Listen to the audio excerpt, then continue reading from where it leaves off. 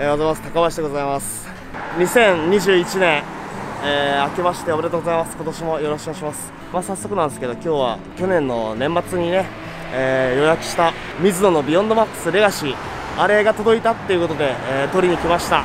今日は例のごとくまた、えー、カズくんも一緒です。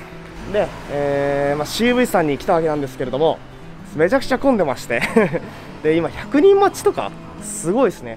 だから隣のスーパーの駐車場も借りてたりしてそこに入れてもいいよみたいな感じで、えー、なのでですねちょっと待って。で店内はねさすがにすごい混んでいるので、えー、カメラを回すのは自粛しようと思います。パパッと買い物を済まして、えー、出てきて。で、まあ、レガシーなりなんなりね買ってきたものをちょっとご紹介できればなとそんなわけでやっていきたいと思います、えー、今年もねよろしくお願いします。じゃあしばしお待ちを。めっちゃ眩しいな。見えてるかこれ。というわけでですねこちらの河川敷にやってきたわけなんですけれどもこちらでございます。ミズノえー、ビヨンドマックスレガシー、あ、ちょっと えー、ビヨンドマックスのレガシーですね、83センチトップ、えー、こちらをですね、まあ、今この河川敷、えー、夕方も近いし、そもそも正月だからね、全然人もいません。はい、ちょっと隅っこの方で別の親子がキャッチボールなんかをしているので、えー、気をつけながらですね、打っていきたいと思うんですけれども、えー、その前にまずは、え、開封動画を撮っていきたいと思います。こちらがまずケースですね。ケースは、えー、ギガキング02と同じです。こっちにだけ芯材が入っていて、えー、グリップの方は芯材が入っていないやつ。02と同じやつですね、まあ、僕の場合あのー、ね、ハードケース持っているのでそっちに移します。こっちはほぼ使わないですね、まあ、メルカリにでも出品しようと思います。発表からですね長いこと待ちました。えー、水野ビヨンドマックスの最新シリーズビヨンドマックスレガシー、まあ、散々ね他の YouTuber の方もレビュー動画とか、出しているので、まあ、外観とかね、あのー、基本的なスペックについては今更喋ることはないですね。本当にもう真っ黒で、えー、シンプルなデザインと。で、えー、シュッとしたねシルエットですごいかっこいいですね。もう大人の複合バットって感じ。やっぱり複合バットって、まあ、ミズノさんもどこもそうですけどやっぱチャカチャカしたねデザインが多いじゃないですか。なんで久しぶりにこういうえー、シックなシンプルなデザインが出てすごいの嬉しいですね。これ結構おじさんたちも使いやすいと思います。はい。じゃあこのビニールを剥がします。もうこれがねやっぱ新品のバット買った時のね緊張というかワクワクというか。はい。おりゃ。おりゃ。おおおおおほいと。あーすげえ綺麗ですね。やっぱ新品のバットっていいな。はい今も完全に試合で使える状態ですね、えー、ビニールを剥いてすごいやっぱ綺麗だな新品だから、まあ、そりゃそうなんだけどさ。えー、うん。ああいいね。でもあのー、僕ねこれで、まあ、レガシーとあといつも使ってる赤い02と、えー、2本あるわけなんですけれどこっちはね、えーまあ、フレアというかこのグリップの部分フレア、えー、タイカップ、まあ、人によっていろいろテーパーとかね呼び方ありますよ。それにしようと。なので、えー、グリップテープとね新品のあとはテーパーの部分を買ってきました。それをねもう早速やっていきたいと思います。まずこの新品のグリップテープをもう問答無用でばらしていきます。すげえね贅沢ですよこれ。よいしょ。はい完全に今、えー、新品のグリップを剥がしてえー、サラの状態です。ここに新しいグリップを巻いていきます。これが、えー、バットの、ね、グリップのエンドの部分に引っかかることによって、えー、テーパーがかかりますよと。でグリップテープがリザードスキンの 1.8mm 割とね太いのが好きなんですよ。なんでこれをかまして、えー、こいつを巻いていくわけなんですがまずですねこいつをちゃんと固定させないといけないわけです。パッてこうやって見ると大体ちょっとねブカブカなんですよ。ちょっと余る。余らん。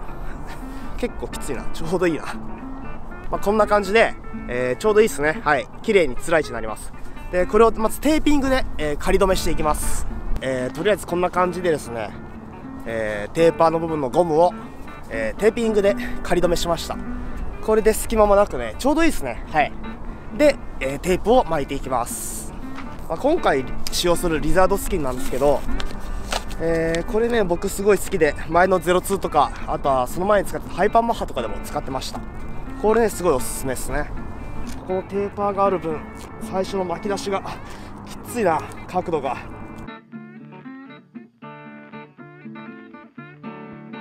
でリザードスキンは、えー、最後ねビニールテープとかじゃなくてこういうね、えー、同じ素材のなんだ1周分ついてるんですね。なので綺麗にね最後、えー、止めなんだ、えー、巻き終わりを整えることができます。これすごいね。ありがたいですね。気持ちいい。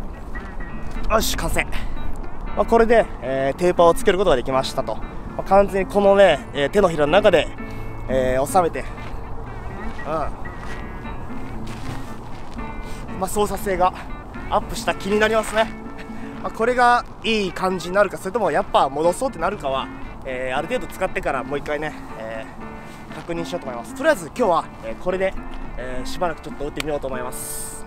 じゃあ打っていこう、えー、1人じゃやっぱ打つって言っても何もできないので、えそのまま数にピッチャーっていうかねちょっとお手伝いをしてもらいます。まず体はまだ全然温まってないので軽く、えトスしてもらってで軽く振ってね感触を確かめてみようと思います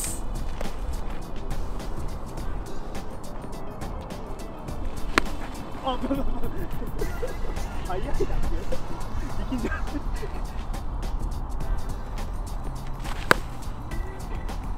えー、っと今軽くですねもう手だけで腕だけでポンって合わせただけなんですけど まあなかなか鋭い打球が飛んでいきましたね。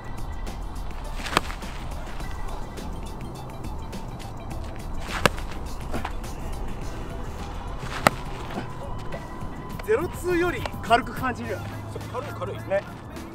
一緒なんだ。よあ一緒？この赤いやつ。83センチ710グラム。俺レガシーを軽く感じた。ね。なんでやろ？はい。うわ。えー、次数も打ってみます。よし。123お入った。気持ちいい気持ちいいこれ。最高だね。ボール えー、というわけでですね今日は、えー、こちらビヨンドマックスレガシーこちらのですね、えー、まあ買ったよっていう動画っていうか、まあ、グリップ巻き替えたよっていうか、え打ってみたよっていう え動画でございました。まあ、あのまさかねこんなすぐボールが全部なくなるとは思わなかったんですけど、まあ、っていうかね、あのバットのレビューなんだからもっと大量にボール用意しろって話なんですけど、あの、今度ねちゃんとあのもっと大量のボールを用意して、えー、まあ、検定落ちとか、えー、もう山の減ったやつとかねそういったティーボールを用意して、えまあ、柔らかいメンバーとかで打ち比べを、えホームラン競争でもしようと思います、まあ、これもそうですけどあと、えー、02とかねあとは最初のギガキング、まあ、そこら3本での打ち比べとかをね、えまあ、やってみようかなと思うわけでございます。今シーズンもね、えどれぐらいできるか分かんないですけど、えとりあえず試合があればこいつを持って、え打席に立ちたいと思います。レガシー俺も買ったぜって人とかあとはこれから買うぞって人とかねあの買うか検討します検討してますっていう方とかはね、えー、ぜひこの動画を参考というかねあのぜひ購入の、えー、背中を、えー、押せればなと思いますので高評価ボタンと コメントとあとチャンネル登録をよろしくお願いします。というわけでまた次の動画でお会いしましょう。ありがとうございました。